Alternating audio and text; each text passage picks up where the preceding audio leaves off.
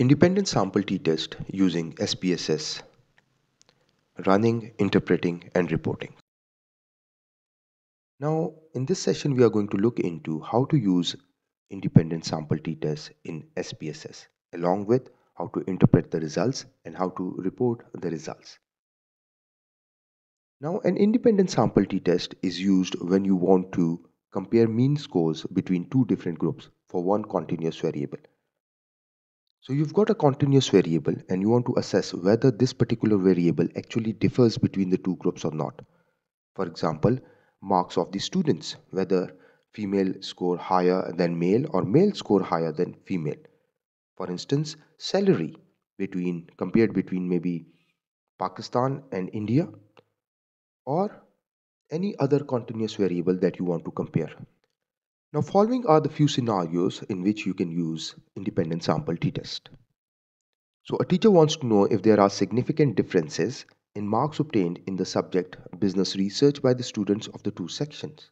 Now you've got two sections and you've got a dependent variable that is marks. A manager would like to know if there are differences in morale for male and female employees. So there are two groups, male and female, and morale is compared between male and female employees. So your morale is your dependent variable that is compared between male and female employees. A marketer would like to know if buying behavior of people of two cities, so now your two cities are basically your categorical variables and buying behavior is your dependent variable that is compared between those two cities. An educationist wants to investigate if the teacher satisfaction varies between school and college teachers. So your categories are school and college teachers and teacher satisfaction is dependent variable which is compared between the two categories. Now independent sample t-test is used to compare a dependent variable, a continuous variable, a criterion variable between two categories. And those categories are referred to as your independent variable. Now in each of the above mentioned scenarios, we could easily see that the data is collected on one continuous variable, marks obtained, morale, buying behavior, teacher satisfaction. However, it is collected from two different groups, that is two sections, male or female, two cities, school or college. Now, these are then compared using independent sample t-test. So what are the assumptions of independent sample t-test? Make sure that your dependent variable is on interval or ratio scale. Your independent variable is categorical with two groups. And your independent samples or groups that is independence of observation. There is no relationship between the subjects in each sample. This means that subjects in the first group cannot also be included in the second group. No subject in either group can influence subjects in the other group no group can influence the other group. This is that these samples or groups should be independent of each other. Now, if there is violation, then this will yield an inaccurate p-value. So, another or final important assumption is normal distribution, that is approximate normal distribution of the dependent variable for each group. However, non-normal population distribution, especially those that are thick-tailed or heavily skewed considerably reduce the power of the test. So it has to be approximate. It should not be very highly skewed. Among moderate or large samples, a violation of normality may still yield accurate p-values. Now, if you've got non-normal data, make sure that you've got a very large or moderate sample. So how do you report independent sample t-test? I'm going to practically look into how to report these results, but here are the two templates. For example, if you've got insignificant results, you can use this one. If you've got significant results, you can use this one. Now, how do I run independent sample t-test in AMOS? Now, the problem that I'm going to assess using independent sample t-test is this one. So my H1 is that there is a significant difference in customer loyalty between male and female respondents.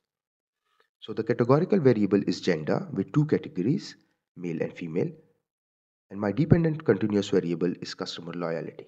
So how do I check this in SPSS? So just go to your data, click analyze, compare means, independent sample t-test. Now my dependent variable is customer loyalty.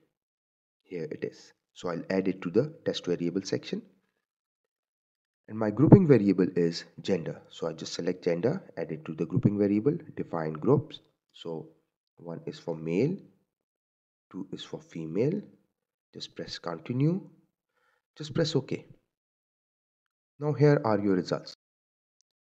For male, the sample size was 414, the mean is 3.92.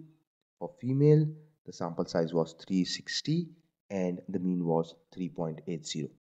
Well, by the look of it, uh, as we see the mean, the, the, the male customers seem more loyal than female customers. Now, is this difference significant? Now, in order to assess the significance of difference, we need to assess or look into this particular table here. Now, the significance is assessed based on p-value or significance value. But the issue here is we've got one significance value here and we've got another significance value here. So which one shall we use? Now, in order to assess the significance of difference between male and female, we are going to check this particular significance value here. But there are two significance values or p values 1 2 which one shall i use? In this case obviously both of them are same but they could be different as well. So we should know which one shall we use in order to assess which one the top one or bottom one we have to look into this Levene's test for equality of variances now in this case the significance value for Levene's test for equality of variance is greater than 0.05 now when this value is greater than 0.05, this means equal variance is assumed. Now if this value, for example, let's assume this value was less than 0.05 here. So then you would have said equal variance is not assumed. So what about equal variance assumed and equal variance not assumed? This means that there are equal variances between the two groups and this means that there are not equal variance between the two groups. In this case, we can assume equal variances in the groups or in male and female groups.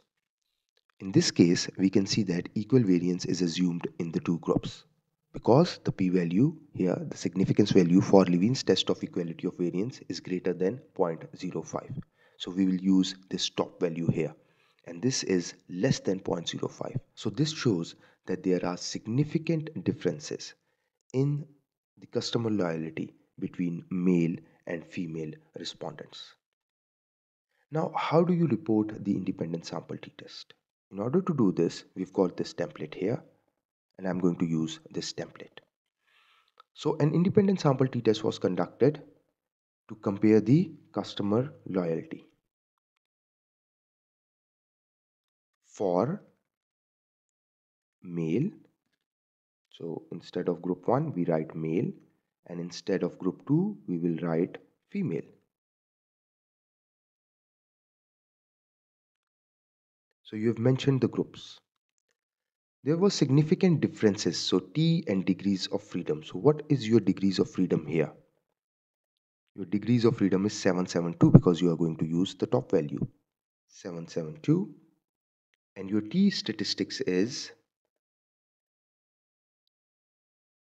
2.470 which is greater than 1.96 2.470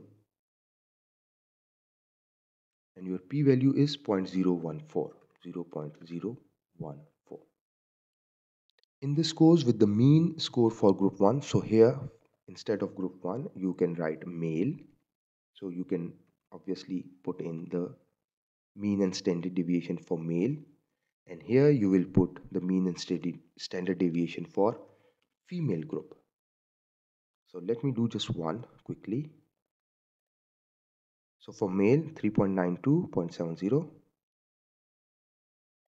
so 3.92 and the standard deviation was 0.70 and similarly you can do for female as well.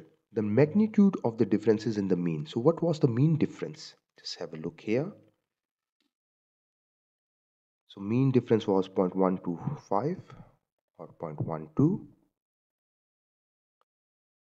0.12. and what was the 95% confidence interval? So here is your 95% confidence interval. So now there is no zero in between. So this means that the results or the differences are significant. 0.025 0.225